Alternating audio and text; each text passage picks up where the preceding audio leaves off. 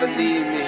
Because good music can be so hard to find. So hard to find.